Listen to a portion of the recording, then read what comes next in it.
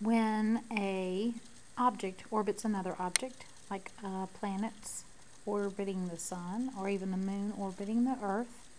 We have the earth here, maybe the moon out here, and the moon is traveling in its approximate circular orbit around the earth like this. there is a gravitational force that is acting on the moon at that position. That gravitational force is pointing towards the center of the earth.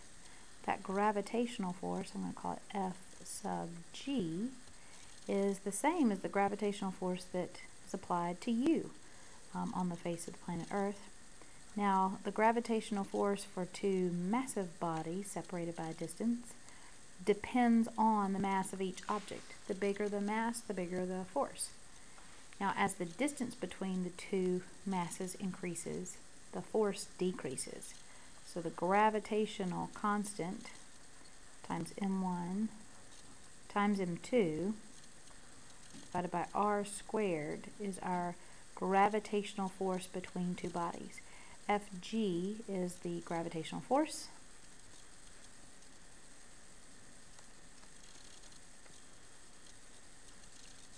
M1 and M2 represent the masses. Mass is measured in kilograms. R is the separation from center of mass to center of mass. COM, center of mass to center of mass. And it would be in meters. G is Newton's gravitational constant. And it is 6.67 times 10 to the negative 11 and it is in Newton meters squared per kilogram squared. Now, as these objects orbit each other, that gravitational force is pointing towards the center, so the gravitational force is causing the centripetal acceleration. So that means that G, M1, M2 over R squared would be equal to MAC. Now this M right here would be the mass that's doing the orbiting, so I'm going to call it M2. I'll label a diagram over here. We've got M1 and M2 and 2 is doing the orbiting and it is at a distance from the center of the M1 body of R. Now AC, remember, is the centripetal acceleration. It is v squared over r.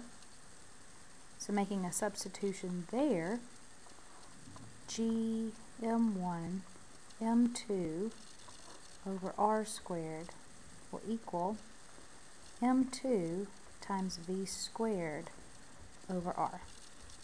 Now if there's an M2 over here and an M2 over there, I can divide by M2 on both sides. I can multiply by an R on both sides. And what I'm left with is that G M1 over R is equal to V squared.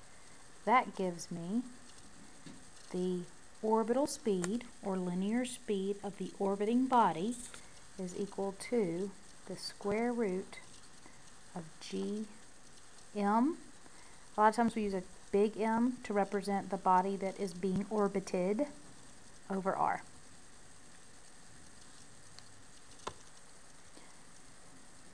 So V is the orbital speed, which is the same as the tangential speed. G is the gravitational constant. M is the mass of the thing in the center, and R is the orbital radius.